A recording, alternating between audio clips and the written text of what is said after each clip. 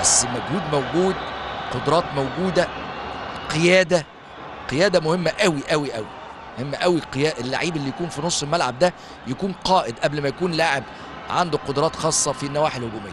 لعبت الكورة العرضية معقولة؟ معقولة؟ معقولة؟ أنا بقول قبلها. شوفوا أنا من أول الماتش بقول لكم نخلي بالنا من بيتكوفيتش ده. بيتكوفيتش بقول مسدد كويس ولاعب ضربات رأس كويس واتكلمت في الشوط الأول كتير قوي عن التمركز الدفاعي الخاطئ.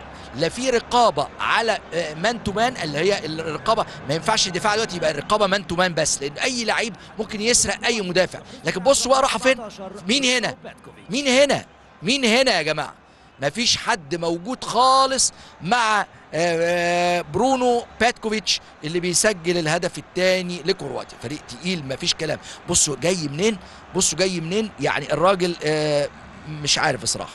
يعني الظاهرة دي في الشوط الأولاني جات له كوره على الأرض حطها بقدمه اليسرى يعني لو في الجول جول. يعني كان المرمى خالي تماما من حتى أبو جبل والكرة اتحطت لكن طلعت بره وهو قاعد يندب حظه في الكرة ديت.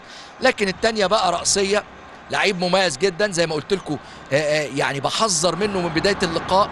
هذا اللاعب المهاجم الصريح اللي لعب مكان أنري كراماريتش اللي لعب المباراة اللي فاتت أقل منه بكتير.